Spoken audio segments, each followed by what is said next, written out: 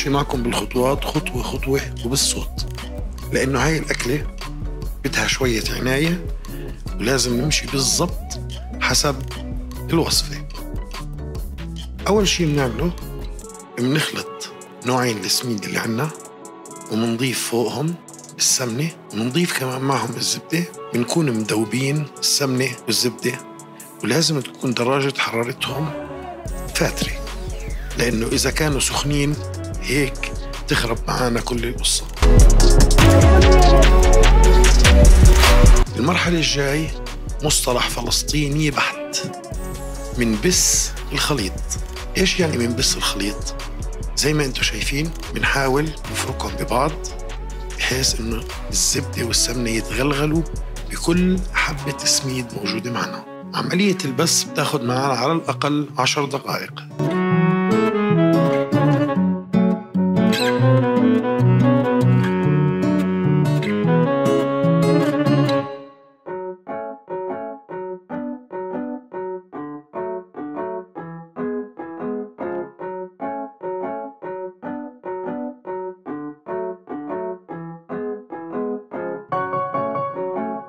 منغطي الخليط ومنتركه لمدة 24 ساعة عشان يرتاح.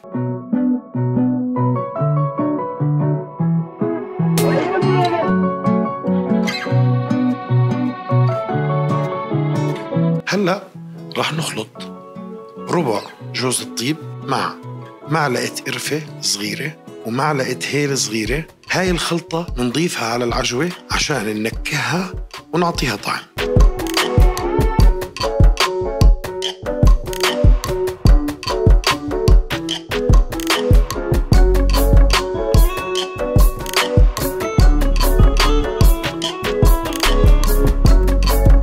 منضيف الخليط اللي طلع معنا فوق العجوة ومنضيف معاهم معلقتين سمنة كبار. السمنة رح تساعدنا بإنه العجوة ما تلزق لما نشتغل فيها وبتلين شوي العجوة معنا.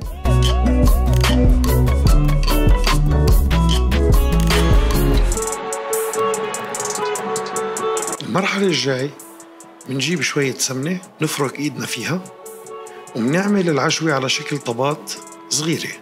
كرات صغيرة وبرجع الموضوع هون حسب الرغبة وحسب كل شخص. كيف بيحب حجم الكعك يكون.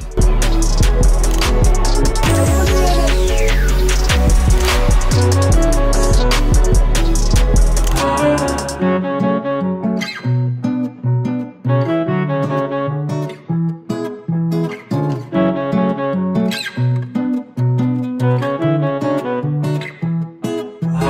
هلا بخلطة الفستق الحلبي. بنحط معلقتين سكر مع 250 جرام فستق حلبي وبنخلطهم لحد ما يتحولوا لبودرة.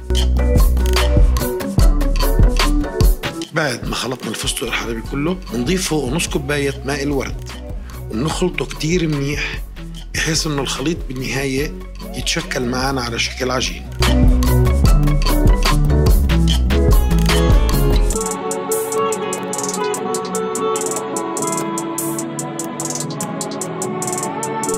بنيجي للسميد بعد ما تركناه يرتاح 24 ساعة. بنضيف فوق الطحين الحليب ال baking powder الفانيلا الخلطة اللي عملناها اللي هي مكونة من مستكة ومحلب خلطناهم مع بعض وبنعجن مرة تانية الخليط وبنضيف عليه شوي شوي كوبايتين مي فاترة.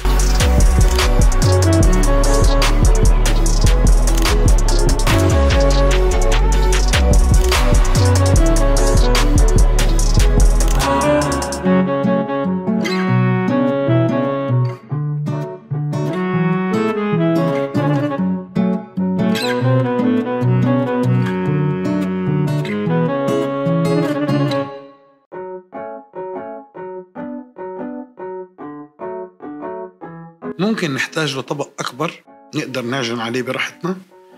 المهم إنه نكمل كوبايتين مي الباردين بحيث إنه لما نطلع شقفة من العجين ونعجنها بإيدنا ما تفتت تكون متماسكة بشكل جيد.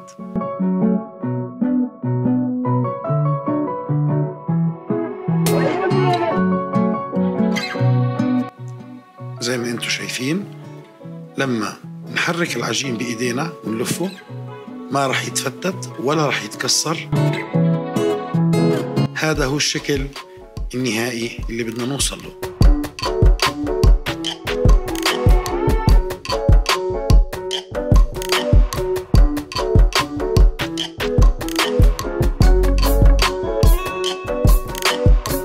بنحط العجين على جنب ومنغطيه ونتركه يرتاح على الأقل لمدة ساعتين.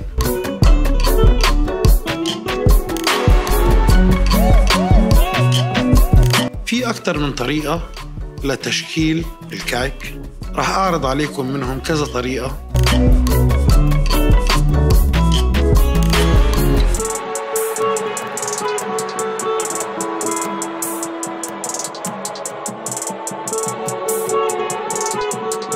أول طريقة معنا اللي هي بسموها طريقة التقريص.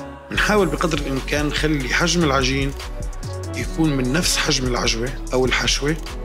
عشان تطلع معنا الكعكة زاكية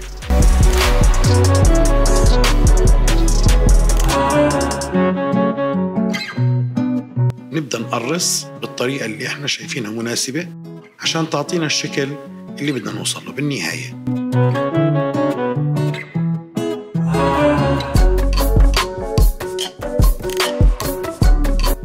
أما الطريقة الثانية فهي طريقة القوالب. في عنا قوالب تنباع بالسوق بتكون إلها أشكال وإلها نقشات معينة. نحضر العجين نحشي الحشوة اللي بدنا إياها بنحطها بقلب القالب وبنضرب على طرف القالب من فوق تنزل معنا بالشكل المطلوب.